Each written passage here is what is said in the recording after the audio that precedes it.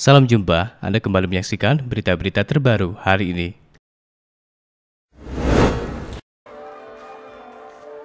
Gubernur Jambi Zumi Zola menghadiri malam Grand Final pemilihan Bujang Gadis Provinsi Jambi 2017 yang bertempat di Ballroom Swiss Bell Hotel. Selain Zola, tambah hadir pula PLT Sekda Provinsi Jambi Erwan Balik, Ketua Dekranasda Provinsi Jambi Serin Taria, Wakil Ketua Dekranasda Provinsi Jambi Rahimah Fahrori, Usul Forkopimda Provinsi Jambi, DPD RI Muhammad Syukur, dan Kepala UPD Laija.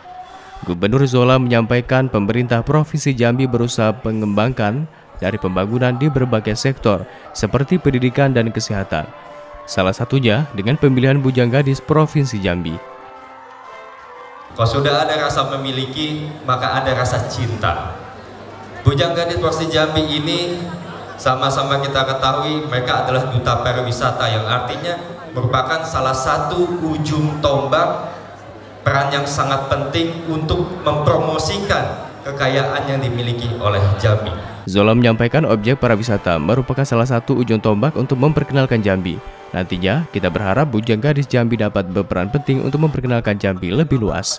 Pemilihan Bujang Gadis Provinsi Jambi pada tahap awal berjumlah 81 peserta, kemudian diseleksi lagi sampai beberapa tahap, dan akhirnya menyisakan sebanyak 15 pasang Bujang Gadis dari berbagai kabupaten atau kota seprovinsi Jambi. 80 sekian, kemudian diseleksi lagi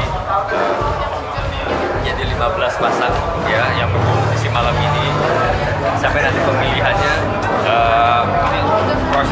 panjang tapi mereka tetap semangat dan juga panitia para pendukung ya sudah luar biasa Zumi Zola juga berterima kasih dan mengapresiasi semangat mereka dalam pemilihan Bujang Gadis Provinsi Jambi 2017.